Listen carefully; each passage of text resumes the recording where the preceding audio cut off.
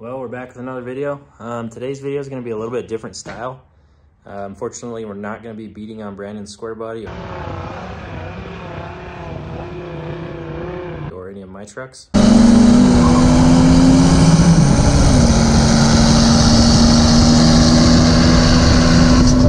Um, one of my buddies called me. He said he had a turbo, uh, well, a compressor housing, I should say. Um, he asked me if I could polish it. I've done a couple of these. I'm no professional, but we're gonna give it a go. So we'll just jump right into it. Here's the compressor housing. I think this is a, I think it said somewhere right there. Yeah, pretty sure this is an 88 millimeter. Brand new cover. Um, if you don't know Paul from Interstate Diesel Performance, you probably have seen videos of his truck exploding multiple turbos. Um,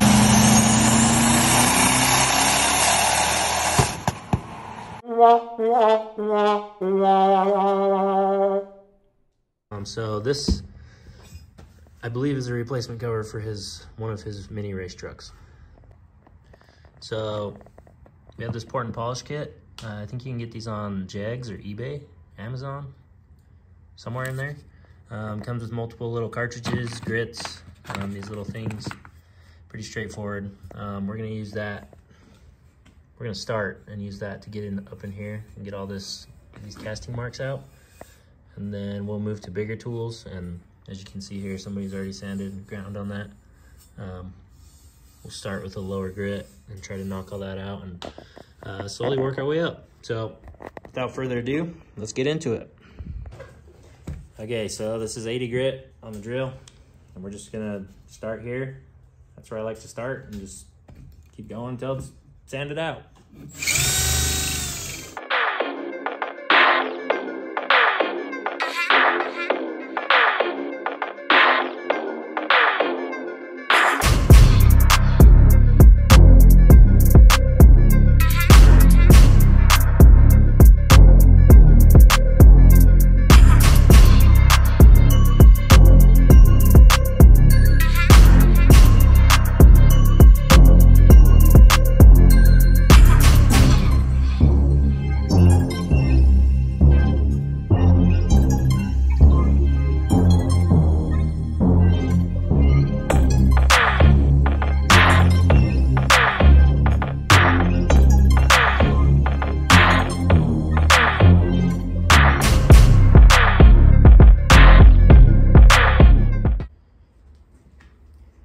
Okay, so for this part, um, we have our DeWalt grinder.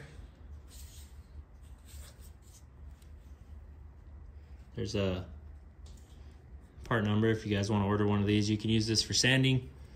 Um, once you get to the polishing part, you can use these airways. Um, I have some metal attachments, but you can use these airways, and that's what you use for cutting and polishing it once you get your sanding all finished. So we have some 120 grit on here. I kind of cut it to fit because I ordered the wrong size, my bad. Um, I'm gonna throw some gloves on. I've got my dust mask and I'm gonna put in some earplugs and we're just gonna go to town. Pretty much sand this until um, all the texture's gone. You can see that spot I hit right there already. So let's get into it.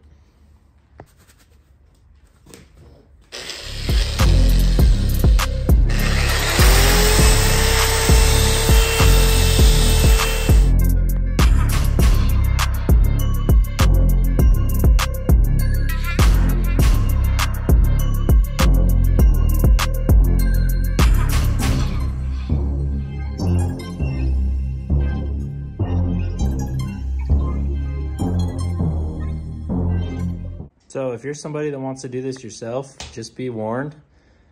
It's a time consuming, not extremely easy process unless there's some way that I'm not sure about.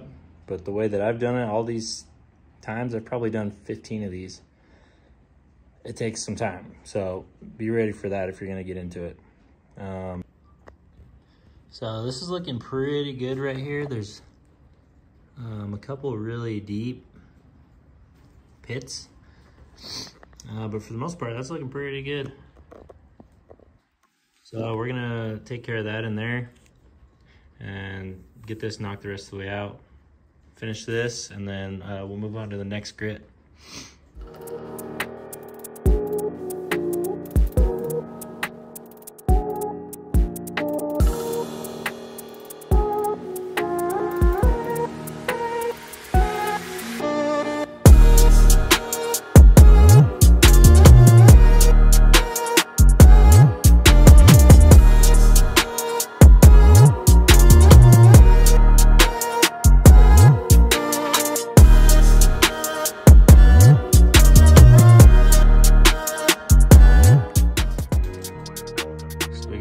Sanded down.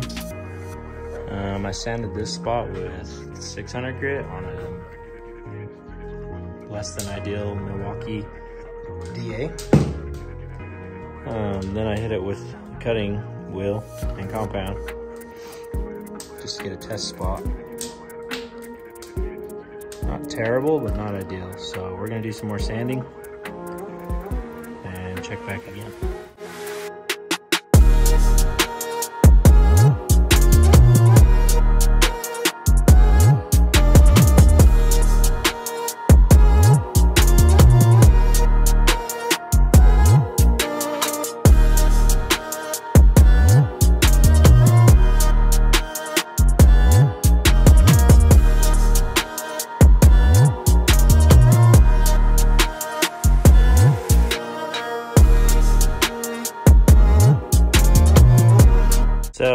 Sanded and pretty much 600, um, except for like the inside edge, whatever you want to call it. Um, so flip the camera around. Besides like in here, um, but the outer is all sanded 600 grit. So I jumped from 180, 240 to 600. This metal's really soft, so sometimes you can get away with it. That's why I'm doing test spots. So here's our uh, test spot, and I'd say that looks pretty good. Keep in mind that's just a cut, so I'm pretty happy with that. I'm just gonna cut the entire thing.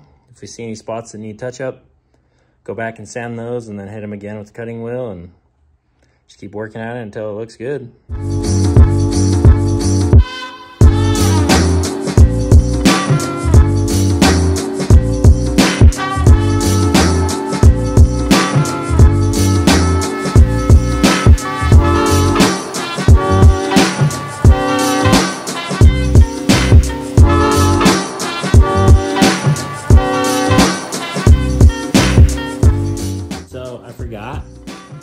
These little, uh, they're pretty much equivalent of like Scotch-Brite. Um, I got this bag. They come in different grits, so like brown is the highest, or lowest grit, I guess. There's red, which is equivalent to like a red Scotch-Brite. There's gray, and a green. Um, you can put these in a Dremel. They work pretty good to get in these areas, so I'm gonna use that. Just clean this up and we'll uh, get it as high as we can and then we'll hand polish that. Forgot to mention that earlier, so we'll do that.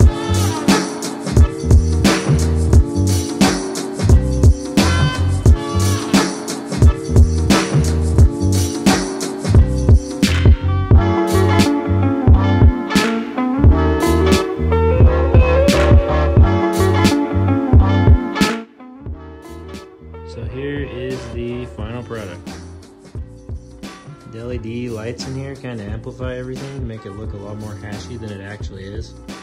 Um, this thing will look really good outside, at least in my opinion.